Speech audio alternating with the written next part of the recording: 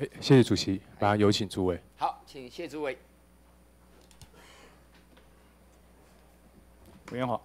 哎，诸位你好，我想跟你确认一下哈，我本来是要从核一厂一号机开始，呃，展开今天请教的内容。不过我刚刚听说前面有委员在质询的时候，你已经承诺了，说原能会不会主动的请教文委员会排核一一号机开始重启的报告。我想先确认一下这个基本态度。我我现在确就是我不会主动的啊，我不会主动。啊，刚才其实刚才那个，呃，何新存何委员他不也讲得很好吗？他叫我要有新思维嘛。对。哎，事实上呢，我们都是在转。没有，我只是再度确认了，就是你不会主动请嘛，哈。是。好，那因为这个你们哈后来的那个调查报告，虽然你刚刚已经承诺你不会主动送，但是调查报告我反复念了好几次，我有一些很简单的问题哦，想要请教一下诸位。那下面呢，就是。如果有比较熟悉的原能会的同仁上来协助，没有问题啊。第一个哈，在原能会的审查报告里面呢，说连接杆表面瑕疵的来源是焊接金属或非金属夹杂物在机械加工后导致其铺路所形成。这个在三十九页。三十八页你又确认哦，这个材料是符合规范。那同时从九十三年到一百零二年不同炉号的库存。机械性质检查跟前面断开相同批次的库存棒没有差异。我现在只有一个简单的问题：这个材料到底有没有瑕疵？有还是没有？因为那个报告反反复复的，啊一下又说有杂质物，啊一下又确认这个材料没有问题。我看了半天，我实在看不懂。所以就一个很简单的问题：这一个连接杆它的材料到底有没有瑕疵？有还是没有？我请这个张处长回答。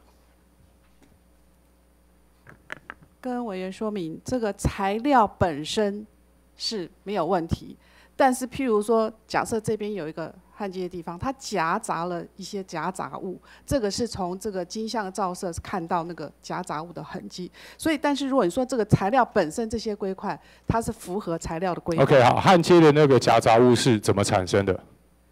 呃，这个部分的话，这个。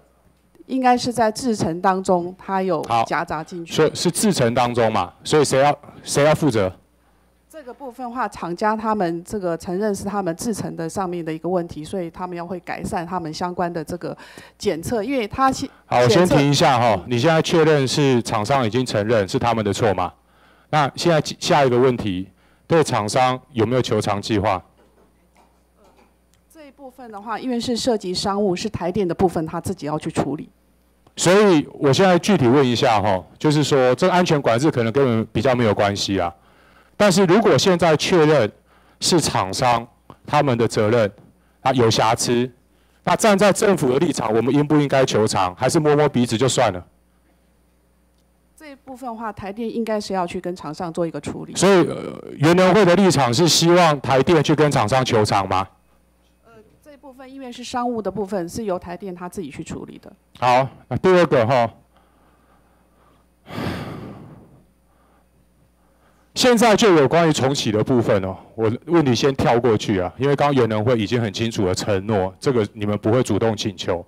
那下一个我会非常重视的事情哦，是台电就厂商应该负的责任，到底有没有开始求偿的计划，还是摸摸鼻子就算了？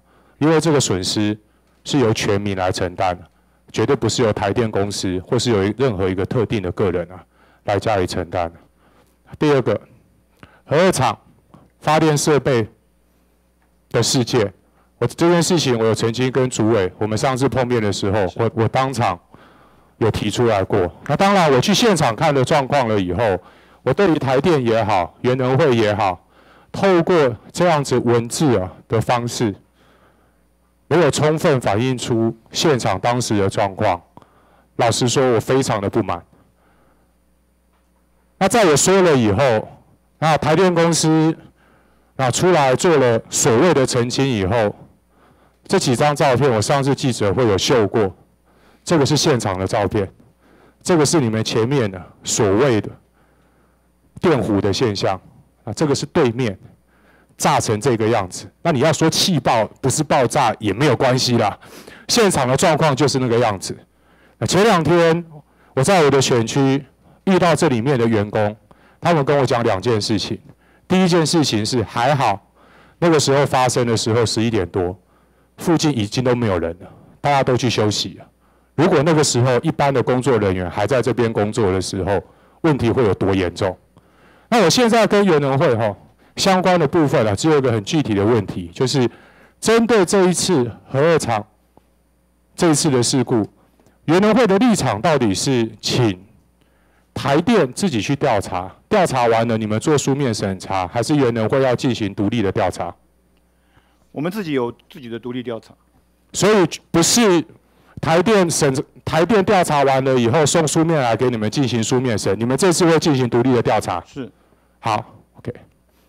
那我希望哦，联能会这边把调查报告完成了以后，就要贯彻主委所讲的公开透明，是是是这样的原则啊。那第三个，按照核子反应器设施运转执照申请审核办法，那这个核子反应器。设施经营者开始装填以前，必须要送中期安全分析报告。那下面也告诉你，第三条说，中期安全分析报告就是我们一般所讲的 FISA，里面应该要记载下面的事项。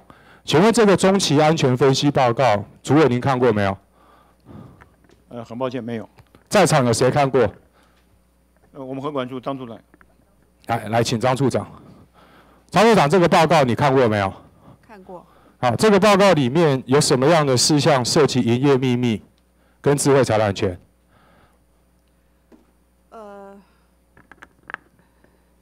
这个报告里面，对不起，我先问一个最简单的啦。嗯。这个报告是用什么语言写的？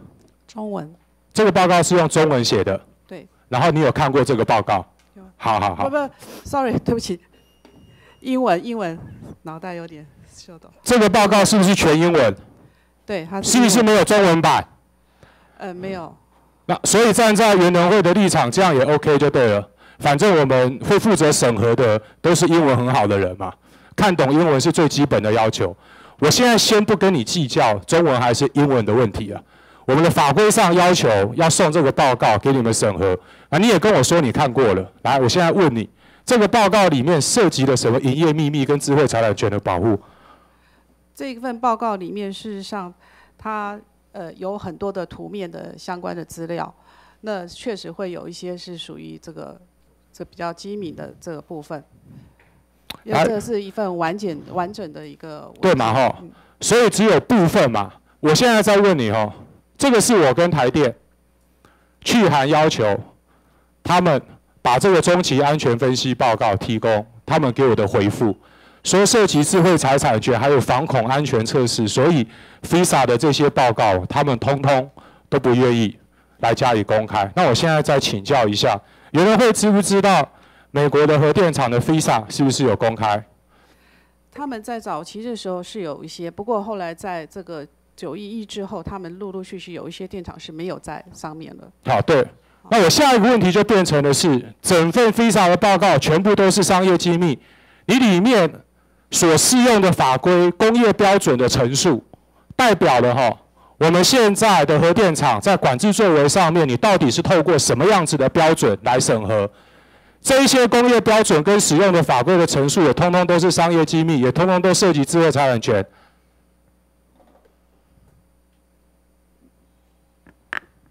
我这部分是要回答吗？呃，是这样吗？不是啊，我现在问题很清楚嘛，就是说。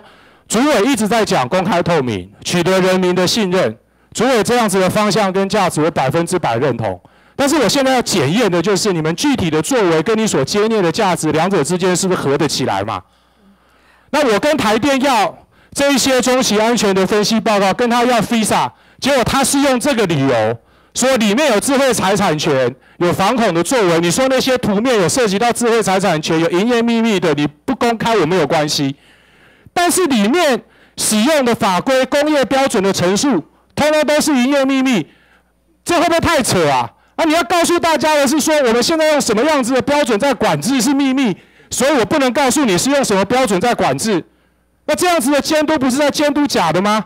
呃，这个是不是跟委员说明这部分话，台电它可以去自行检视，他认为他不可以公开的部分。不是嘛？你你你们是管给委员。你们是管制机关嘛？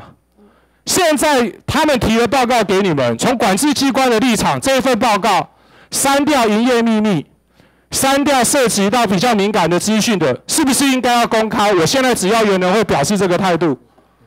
他如果删掉相关敏感的资讯的话，其他的部分应该就是属于可以公开的部分。OK，好，所以主委愿不愿意承诺，就这个部分，我承我承诺。然后把整份报告公开给大家看？是是是是，我承诺我承诺，而且给它翻成中文。OK，是是是中文，是有当初有技术文字会整个都变。没关系，你你你中文跟英文没有关系啦，你们先做第一步啦，哈，先把我也可以老实跟你讲啦，这份报告我看过了，我越看这份报告的时候，我我越火大。上面一堆全部都是适用的法规跟标准，那当然很多都是抄美国那边的。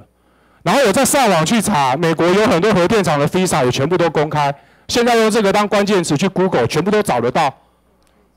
那结果我我们自己国家台电，他的心态是这样，他的心态是这样，就好像上一次核二厂发生事故的时候，这些照片我去现场的时候，他不让我拍，我请他提供，他也不愿意。但是台电发了新闻稿以后，里面自己有员工看不下去了，他们自己把这些照片寄给我，说台电欺上瞒下，他们连自己在里面工作的人都看不下去了。